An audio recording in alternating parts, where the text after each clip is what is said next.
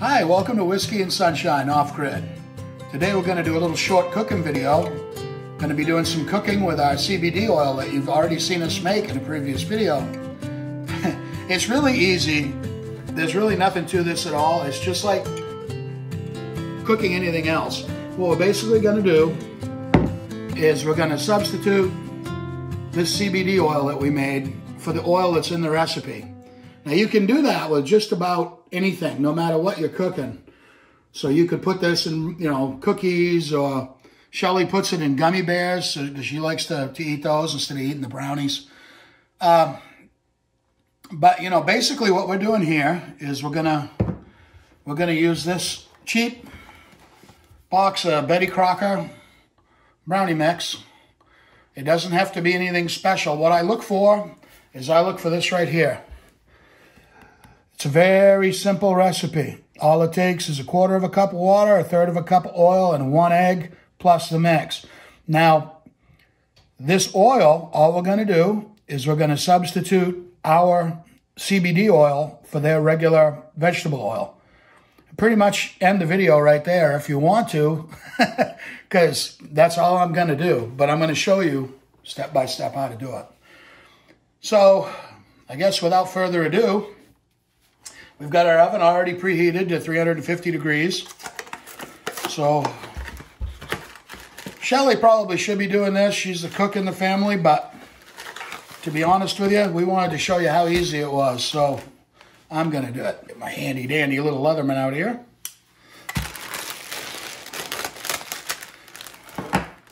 So just take the brownie mix, dump it into the mixing bowl. Oh, this one's got chunks in it, so that'll be good. Okay, so we've got all that. And the recipe calls for quarter of a cup of water. Is our quarter of a cup of water. You can take my word on that if you want. All right, and this is a third cup. And we're just gonna take this oil. Now this stuff will firm up like regular coconut oil unless it's warm out. So what I've done is I've heated it on the stove in a pot of warm water so it liquefied so it's easier to work with. So I'm going to take that oil and I'm going to fill this up.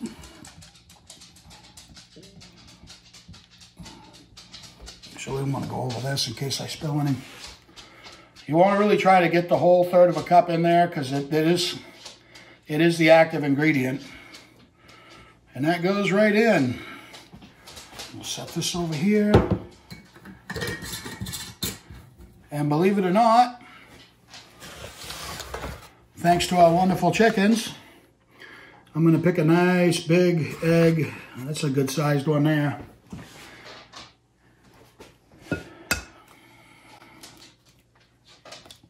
There you have your ingredients. I'm going to stir it up.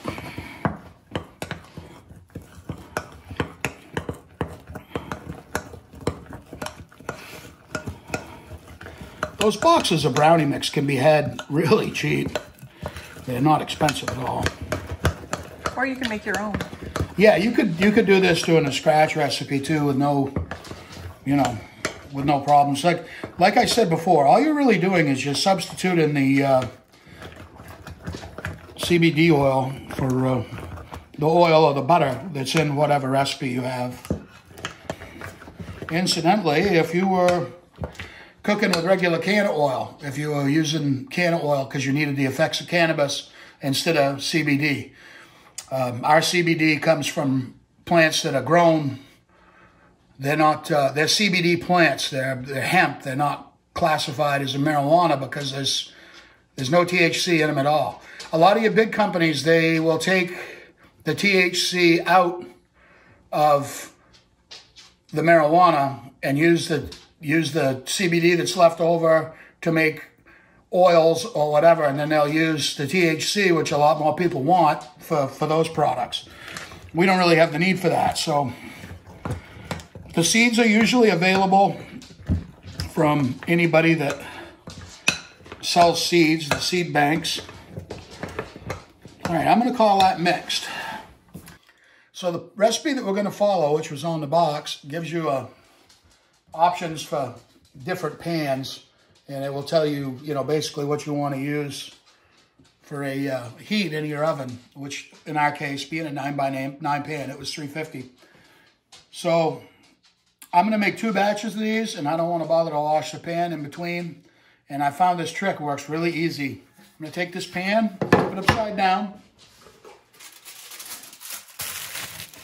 I'm going to fold it over the outside of the pan. I know you're thinking, Scott, what are you doing? Why would you put it over the outside of the pan? Well, reason being, you don't tear the corners when you do that. And that works slick.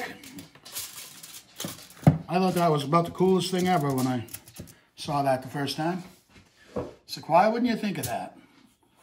And then I'm going to take some cooking spray. I'm going to give it a good spray. I don't think it really needs it. I think I've done it without it before. It hasn't really mattered much. They don't seem to stick. So at this point, we're going to get real scientific and we're just going to dump this stuff in there. I used to worry about getting it all spread evenly all over the pan and then I kind of realized that you don't have to do that. It's a waste of time it will flow out into the corners. And so at this stage, this uh, blob right here, believe it or not, is what I put in the oven, which I'm going to do right now, which is already told me it is preheated. Set it in there like that to the 35 minutes that was on the box. And with that, we're going to have to fast forward 35 minutes for the next part of this video. Okay, so obviously I've got these out of the pan now and they're cooled off. So they look just like any other brownies. Now, I'm going to warn you, uh, this CBD uh, strain of hemp, it does still smell like marijuana. Uh, and when you cook the brownies, it, it smells mostly like brownies, but you do get an occasional whiff of the marijuana smell. So that's something you have to deal with. I I really can't taste it. I I don't know. I mean, some people say they can. I don't. I, I really I don't know. I I can't tell. Somebody could feed me one. I wouldn't know. So what I basically do is I try to cut these as equal as I can. So I'm going to try split it in half, go in both directions. This would be really important if you were cooking with actual cannabis oil instead of CBD oil because that would be your dosage. Um, if you eat all this, you're going to get way more CBD oil than if you just ate one brownie, of course, but make no mistake about it, this stuff will not make you high. It is not psychoactive at all. So there's no danger in eating these and having any problems driving, uh, them making you sleepy. The only, I mean, they might they might relax you if you're already tired, let you fall asleep, but they're not going to cause you any ill effects. Trying to take extra careful, make sure that try to get it right. Everything equal, just like that. Now you let those cool a little bit before you cut them, right? Yeah, I let them cool so you could, you know, lay your hand on them. They're not, they're not hot or anything. They're still, they're still pretty soft. They come soft enough so they come apart easy, if you know what I mean. Um, you just take them. I stick them in a, a regular freezer bag, and I put them right in the refrigerator to store them there, and that keeps them nice and fresh. Now, you could make a bunch of them ahead of time and freeze them, you know, whatever you choose to do. But this is this is pretty much how I've how I've been doing it for a while now. Okay, so like I said, we're in the we're in the freezer bag, you know, and uh, this is my choice for what I eat, how I take this. I take it every day like a vitamin. It really helps me. I find it helps with my back. It also uh, it helps me sleep at night too. Uh, what I typically will do is I'll take one of these brownies and I'll cut it in half. I made half of it when I get up in the morning, and I made half before I go to bed at night.